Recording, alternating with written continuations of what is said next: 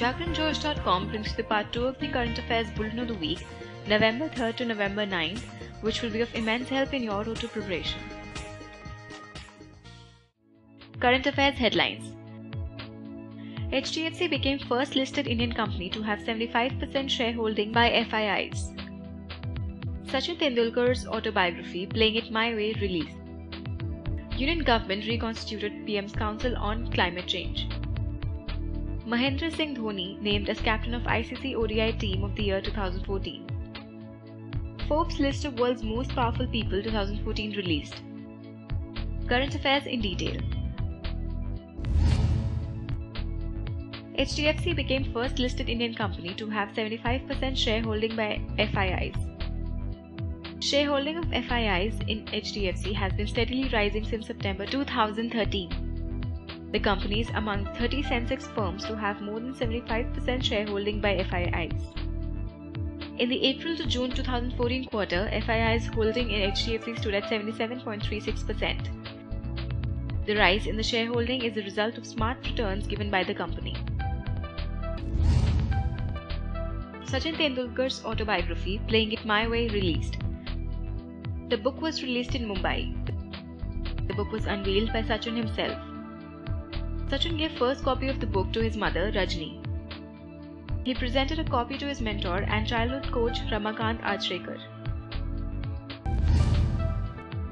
Union government reconstituted PM's Council on Climate Change. The council will be chaired by Prime Minister Narendra Modi.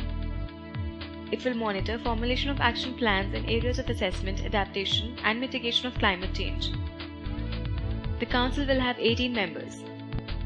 The Council will assist Prime Minister's office in facilitating the work of the Council. The first Council was formed in 2007. Mahendra Singh Dhoni named as captain of ICC ODI Team of the Year 2014. He has been selected in the ICC ODI team for the eighth time, seventh year in a row. The selected ICC ODI team was chosen by a specially appointed selection panel. The selection panel was chaired by the ICC's Cricket Committee Chairman and former India captain Anil Kumble. The team was selected on the basis of the 12 month performance between 26 August 2013 and 17 September 2014. Forbes list of world's most powerful people 2014 released. The list gives the annual ranking of the world's 72 most powerful people.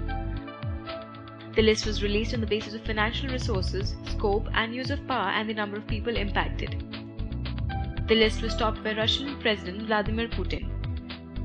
Indian Prime Minister Narendra Modi was ranked 15th on the Forbes list. Mukesh Ambani was ranked 36th on the list.